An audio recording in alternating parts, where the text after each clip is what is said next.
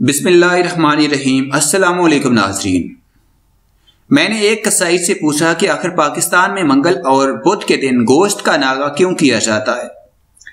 اور اس نے اپنی منطق کے مطابق جواب کیا کہ چیک کسائی جانور ذبح کر کر کے تھک جاتے ہیں، جس کی وجہ سے منگل اور بدھ کو وہ چھٹی کرتے ہیں۔ میں نے کہا کہ یہ تو کوئی بات نہ ہوئی۔ کہ کسائی جانور ذبح کر کر کے تھک جانے کی وجہ سے منگل اور بدھ کے روز ناگا کرتے ہیں۔ اور پھر چلو آپ کی منطق مان لی، تو پھر منگل اور بدھ کے روز ہی کسائی چھٹی کیوں کرتے ہیں؟ اور ہفتہ میں منگل اور بدھ کے علاوہ کسی اور دن ناگا کیوں نہیں کرتے؟ آخر منگل اور بدھ کو ہی ناگا کیوں کیا جاتا ہے؟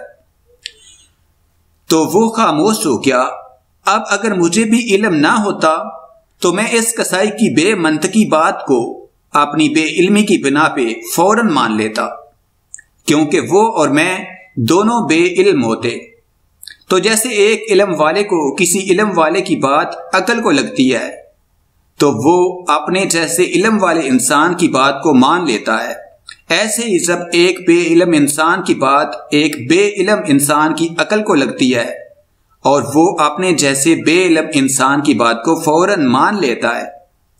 میرے منطقی سوال پہ کسائی کے چپ ہو جانے پہ میں نے کہا کہ میں نے پڑھا ہے کہ حضرت آدم علیہ السلام کے دو بیٹے تھے، حابیل اور کابیل اور جب کابیل نے حابیل کے سار میں پتھر مار کے حابیل کو قتل کر دیا تھا تو وہ دن منگل کا تھا اور کابیل تقریباً دو دن تک یعنی منگل سے بدھ تک بائی کی لاش کو کندھے پہ اٹھائے پھرتا رہا کہ اس لاش کا کیا کروں، کیسے ٹھکانے لگاؤں؟ کیونکہ تب یہ دنیا کا پہلا قتل تھا۔ تو کابیل کو معلوم نہیں تھا کہ کسی انسان کے مرنے کے بعد اس کے ساتھ کیا کیا جاتا ہے۔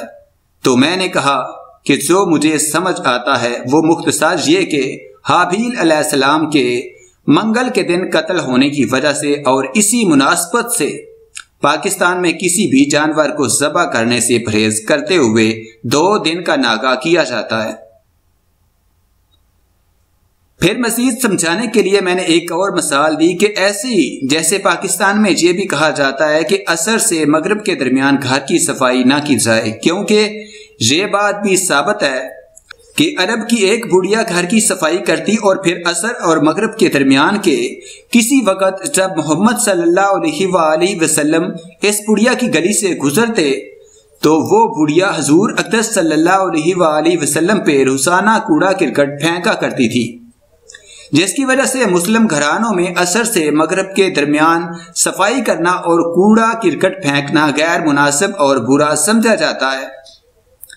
پر کسائی ساری بات سن کے خاموش رہا، جیسے ساری بات کو سمجھنے کی کوشش کر رہا ہو۔